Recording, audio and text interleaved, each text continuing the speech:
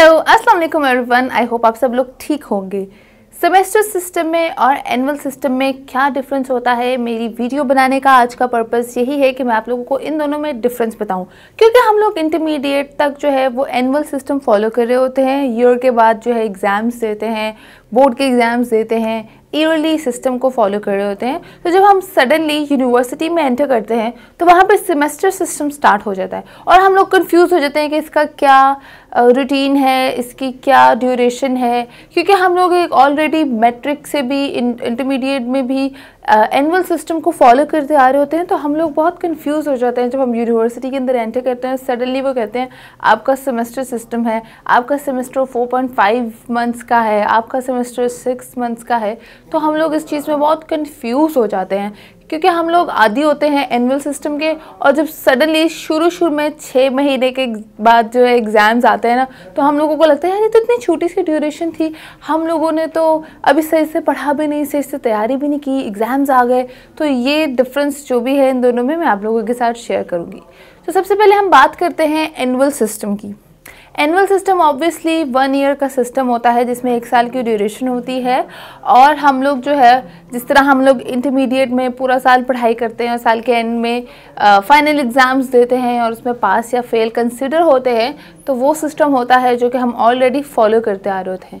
अब हम बात करते हैं सेमेस्टर सिस्टम की, जो कि बेसिकली बैचलर्स की डिग्रीज़ के लिए डिज़ाइन किया जाता है। अगर आप लोग सिंपल बीए करते हैं कि बीए भी ऑब्वियसली ग्रेजुएशन की एक डिग्री होती है, हम लोग ग्रेजुएट कंसीडर होते हैं तो उसमें हम लोग सेमेस्टर सिस्टम को फॉलो नहीं करते, उसमें हम ईयरली सिस्टम फॉलो करते हैं एनुअल सिस्टम फॉलो करते हैं। क्योंकि जब हम बैचलर्स करते हैं फोर ईयर डिग्री प्रोग्राम करते हैं तो उसके अंदर हम सेमेस्टर सिस्टम को फॉलो करते हैं। पाकिस्तान में जितनी भी यूनिवर्सिटीज़ हैं वो बैचलर्स की डिग्री में सेमेस्टर सिस्टम को ही फॉलो करते हैं।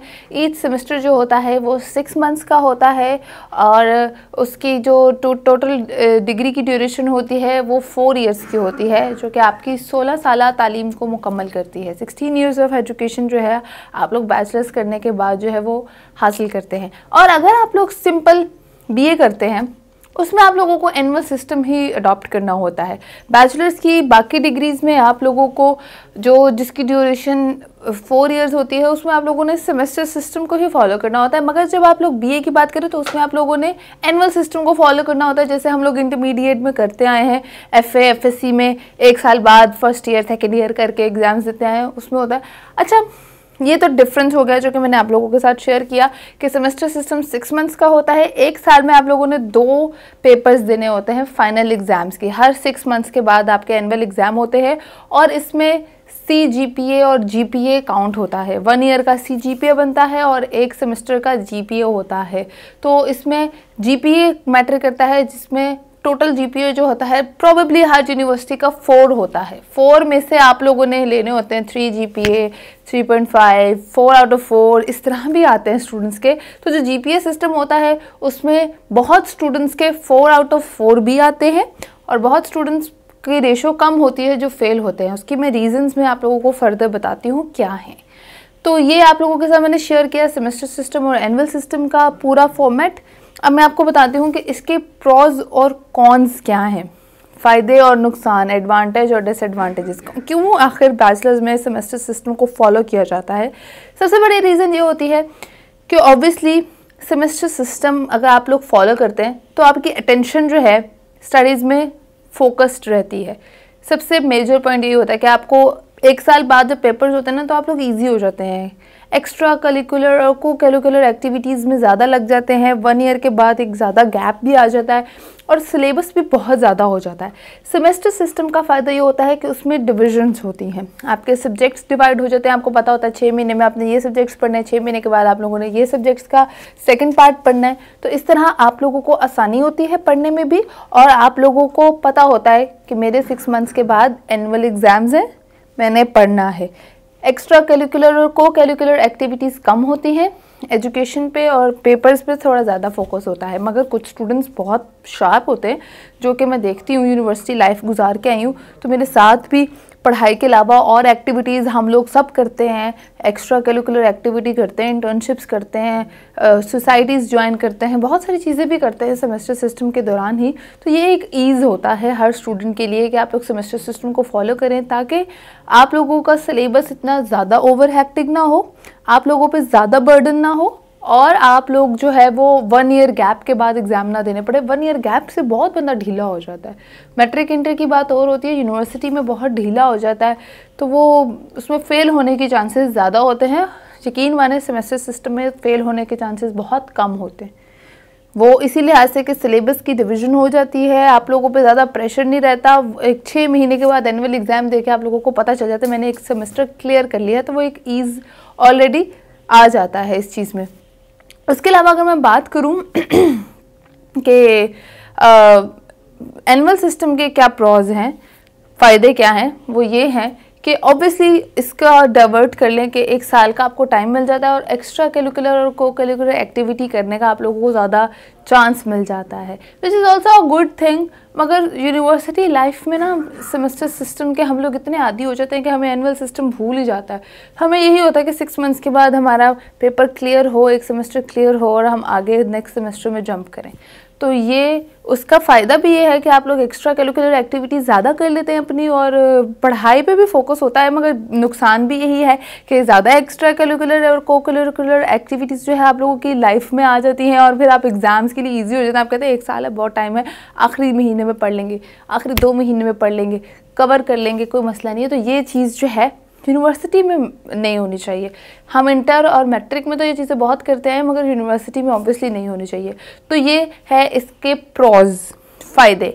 अब इसके कॉन्स में आप लोगों को बताती हूँ कि सेमेस्टर सिस्टम का नुकसान कम होता है, हालाँकि, और फ़ायदा ज़्यादा होता है। नुकसान यही होता है कि ड्यूरेशन का मैटर मसला ये होता है कि आप लोगों को मिड टर्म एग्ज़ाम्स देने पड़ते हैं थ्री मंथ्स के बाद और सिक्स मंथ्स के बाद एनुअल मतलब फाइनल एग्ज़ाम्स जो हैं आप लोगों के सेमेस्टर के वो देने पड़ते हैं तो स्टूडेंट्स के लिए थोड़ा सा हैक्टिक होता है।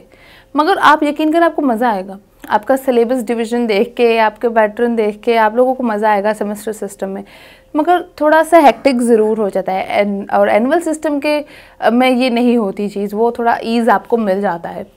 और मैं आप लोगों को बताऊँ कि एनुअल सिस्टम के क्या कॉन्स हैं? एनुअल सिस्टम के नुकसान क्या हैं? एनुअल सिस्टम के नुकसान रिकॉर्ड किए गए हैं कि अगर बैचलर्स में आपका एनुअल सिस्टम होगा तो यकीनन बच्चे जो है, वो ज़्यादा फेल होते हैं। स्टूडेंट्स ज़्यादा तादाद में फेल होते हैं as compare to semester system वही बात कि सब्जेक्ट्स का ईज नहीं होता बर्डन ज़्यादा हो जाता है, वो ईजी हो जाते हैं वन ईयर के बाद। इसीलिए देखें, आप नोट करिएगा बीए के स्टूडेंट्स जो करते हैं, कुछ लाइक भी होते हैं, मगर कंपैरेटिवली उनका मेरिट जो है, उनका जो उसके उनके नंबर्स जो हैं, वो बैचलर्स के स्टूडेंट्स से कम होते हैं।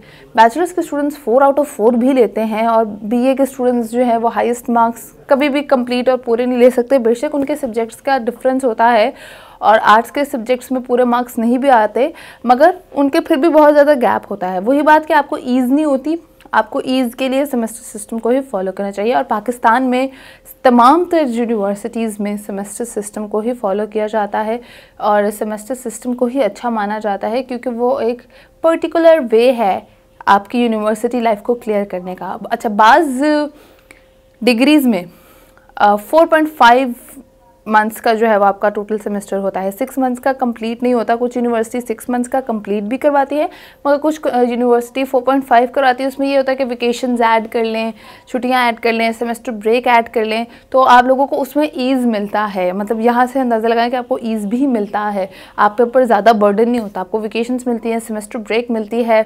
extra curricular co curricular activity करने का टाइम भी मिलता है सब्जेक्ट्स में डिवीज़न मिलती है सब्जेक्ट्स में ईज़ मिलता है और टाइम बेसिकली शॉर्ट होता है, मगर एक फ़ायदा होता है मार्क्स ज़्यादा आने के चांसेस ज़्यादा होते हैं। एनुअल सिस्टम में ये सब नहीं होता। एनुअल सिस्टम में लगातार आप चलते आ रहे हैं और अगर आपको ब्रेक भी मिलती है तो एग्ज़ाम्स नहीं होते तो एग्ज़ाम्स से पहले जो ब्रेक होती है ना, वो ज़्यादा एक्टिव होती है। यकीन मैंने एग्ज़ाम्स दे के जो ब्रेक मिलती है ना वो सबसे इजी होती है कि हमें पता होता है हमारे एग्ज़ाम्स हो गए, अब हमारी छुट्टियाँ हैं और हम लोग फुल टेंशन फ्री होके ईज़ में है। एनुअल सिस्टम में आपको मिड में ब्रेक मिल जाती है और ब्रेक की वजह से आप लोगों को और परेशानी होती है। आपको छुट्टियों में भी पढ़ना पड़ता है कि मेरा नुकसान ना हो, मेरे एनुअल एग्ज़ाम्स अभी होने हैं। तो ये फ़ायदे आप लोगों को दोनों सेमेस्टर सेमेस्टर सिस्टम और एनुअल सिस्टम में है। और सेकेंडली अगर किसी ने प्राइवेट करना हो तो उनके लिए एनुअल सिस्टम होता है, मगर यूनिवर्सिटी लाइफ में सेमेस्टर सिस्टम इज़ ईजी और अच्छा भी होता है। तो आई होप डिफरेंस आप लोगों को क्लियर हो गया हो। ये वीडियो आप लोगों के लिए यूज़फुल और इन्फॉर्मेटिव साबित हुई हो। वीडियो पसंद आए तो लाइक शेयर और कमेंट ज़रूर कीजिएगा। मैं दोबारा आऊँगी। मुझे तो इजाज़त। अल्लाह हाफिज़।